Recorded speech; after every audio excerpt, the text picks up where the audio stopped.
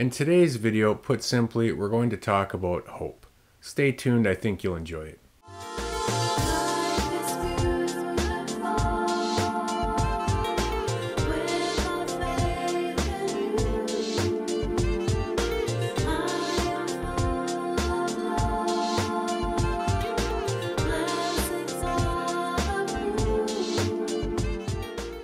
Hello there, everyone, and welcome back to the Lovely Grind. My name's Michael Priebe, and my website's lovelygrind.com.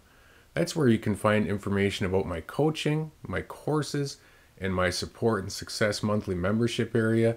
That's also where you can find a whole lot of blog posts, so I hope you'll check out lovelygrind.com. And I welcome you back to my channel and to today's video, which is about the one thing people need most in a healing situation, and that is hope. Now, chances are, if you're watching this video, you're going through something. Chances are, you're likely going through some struggle related to medications and tolerance effects, side effects, or withdrawal effects after quitting.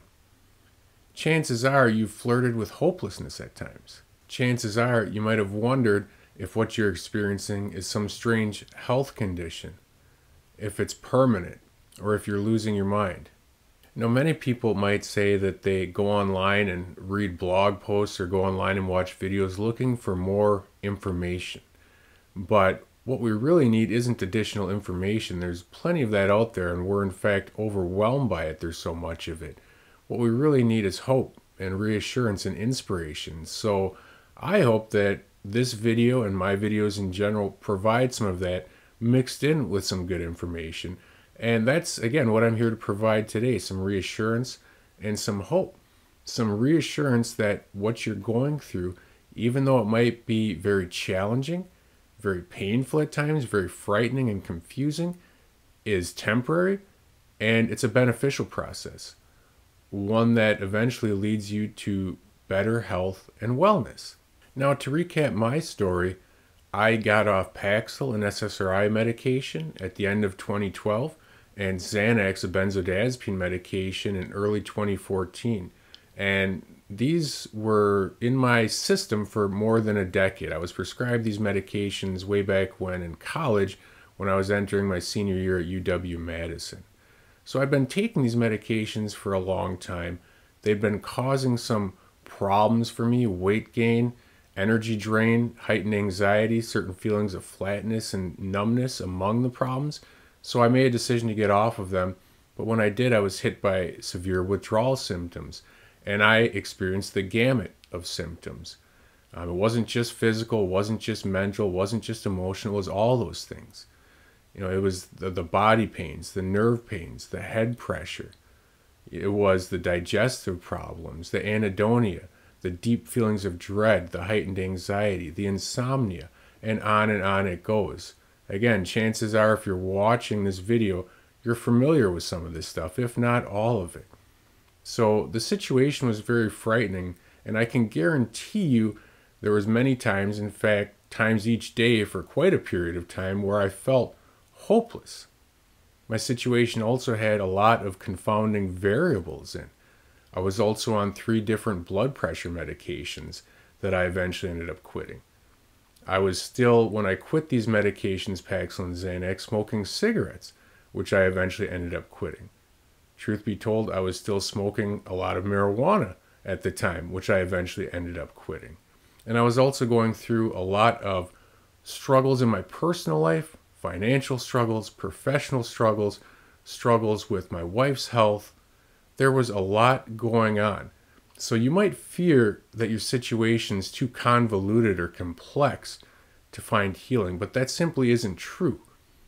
My story was convoluted and complex, and so are the stories, frankly, of basically everyone I talk to. Everyone has their own individual struggles, symptoms, and challenges, but those things don't prevent a person from moving forward and healing. I've now worked in coaching with many, many people from all over the globe, and I've been blessed to be a part of many inspiring stories of healing and growth. And I can tell you, everyone at one point or another fears that there's something so unique or complex about their situation that they just might not heal.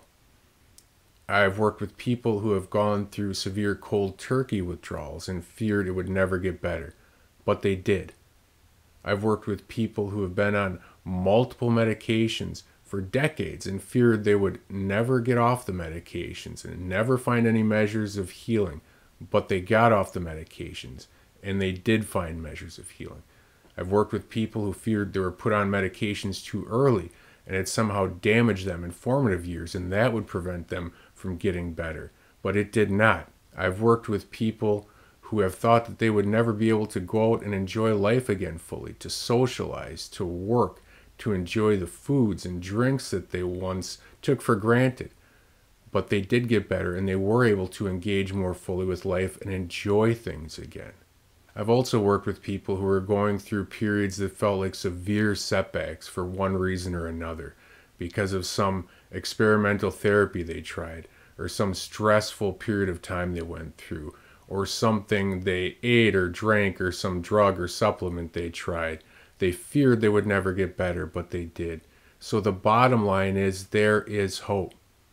If you keep moving forward and combine more time with your efforts at self care, self work, and healthy living, you are going to see improvements.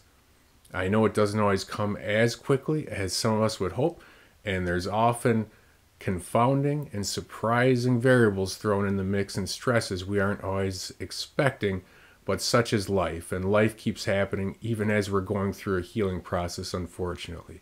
So, no matter what you're experiencing, what you're going through, I urge you Cling to the hope that others have found healing and you can too. This is a truth. And hopefully, this is a truth that resonates with you today, gives you reassurance, and gives you a little extra boost of inspiration and energy as you move forward through the next weeks and months of this journey. My name is Michael Priebe. Again, my website's lovelygrind.com. I hope you'll go there, check out my information about coaching, courses, and blog posts. I hope that you'll keep checking out these videos. I'll keep making them. I urge you to keep moving forward in your healing journey. And until next time, please remember to take care of yourself and your dreams.